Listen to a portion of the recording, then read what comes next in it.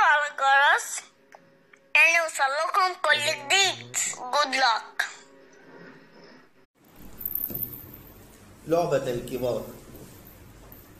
أقدم شيء يستطيع أن يجده في قاع ذاكرته. عندما تعلم المشي بمفرده فرحا يجوب كل الأماكن رافعا راية الاعتماد على النفس عاليا. فلم يعد هناك داع لمذلته لأحدهم كي يحمله من مكان لآخر.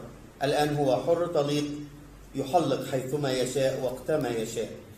تمتص عيناه الكون. تم تتملك روحه الأماكن والأشياء. يقفز عقله على حدود المعقول.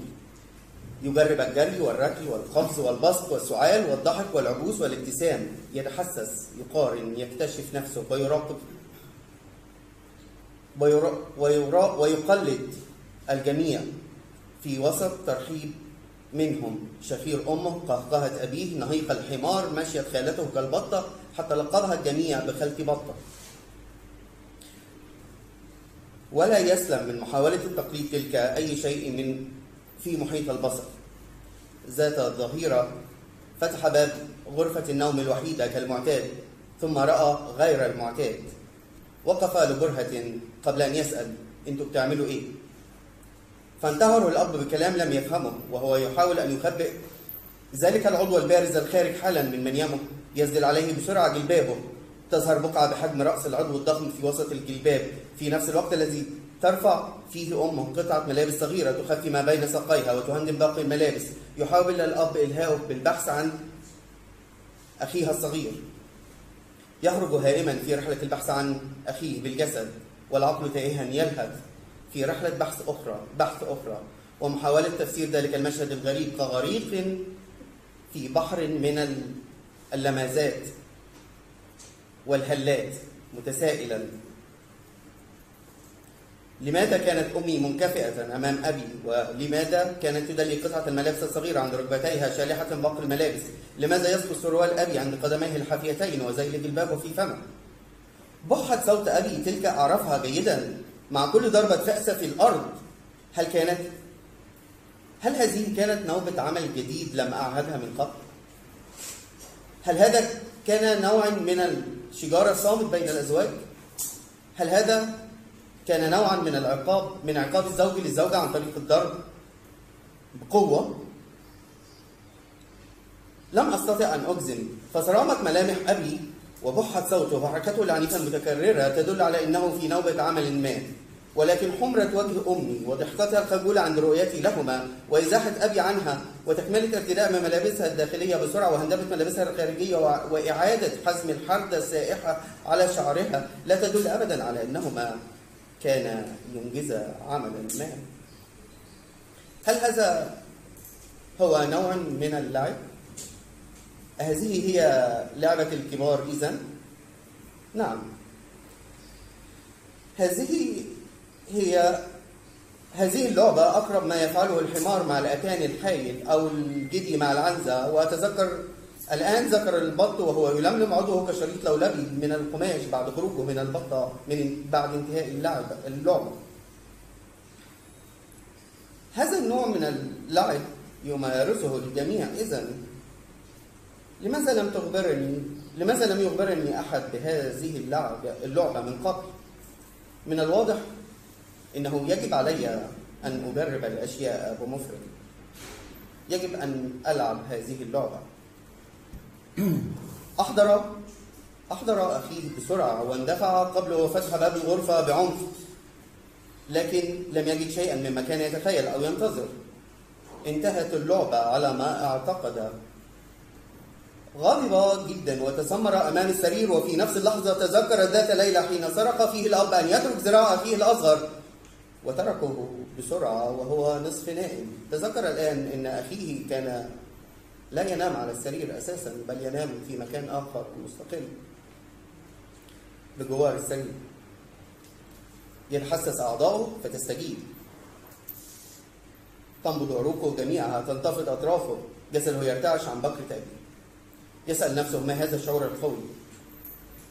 ما فعله هو أنه حاول أن يجرب ما قاله له أحد الأصدقاء الكبار الذين يذهبون للمدارس بالمداعبة والتدليك يكبر العضو ثم يقذف سائلا لزجا وتسري فيك قوة عشرين حصان. وتشعر كأنك مارست لعبة الكبار الخفية. حاول جاهدا أن يصل إلى مرحلة اللذة التي سمع عنها من الصديق ولكنه فشل في الوصول للذة الخروج السائل السحري الذي يقال عنه وبالتالي فشل في أن يحصل على قوة العشرين حصان المزعومة. قرر الاعتماد على نفسه في الجزء الثاني. وتوصل إنه يجب أن يكون هناك شريك لاتمام هذه اللذة والحصول على قوة الاحصنه استغل وقت قيلولة أمه حاول بكلتا يديه وبصعوبة رفع ساق واحدة نائمة على الأخرى. كم هي؟ ثقيله وقويه سيقان الكبار. الآن أصبح متاكدا من مصدر هذه القوة. بعد بين ساقيها قليلا وكشف عن ملابسها وحاول جاهدا وأوشك الأمر أن ينجح ولكن فزعت أمه وافزعته بصراخ غير مفهوم. يأتي الزوج على صراخ الزوجة المذعوره يتبادلان كلاما غاضبا سمعه جيدا ولم يفهم منه شيئا.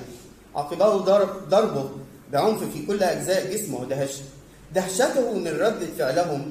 تفوق ألم الضرب وخلع الكتف. لماذا يبيح أبي لنفسه اللعب ويعاقبني عليه؟ لماذا ترفض أمي أن تلعب معي؟